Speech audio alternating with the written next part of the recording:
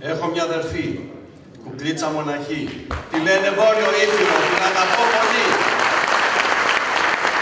Τα παιδιά του δημοτικού σχολείου, όταν ήμουν και εγώ στο δημοτικό σχολείο, αυτό το εμβατήριο τραγουδούσαμε στις εθνικές εορτές. Το ίδιο κάναμε στο Λύκειο, το ίδιο κάναμε στο στρατό. Δεν την ξεχάσαμε την Βόρειο Ήπειρο. Ζει στις καρδιές μας. Τη θυμόμαστε, την αγαπάμε. Και είδαμε με συγκίνηση τους βορειοϊπηρώτες όταν ήρθαν, όταν έφυγαν από τα χωριά τους και ήρθαν εδώ, ταλαιπωρημένοι σε δύσκολες οικονομικές συνθήκες να φτιάξουν μια καινούργια ζωή και τους τιμούμε, τους αγαπούμε, τους έχουμε δίπλα μας. Και εγώ και το επιμελητήριο θα είμαστε πάντα δίπλα σας. Να είστε καλά.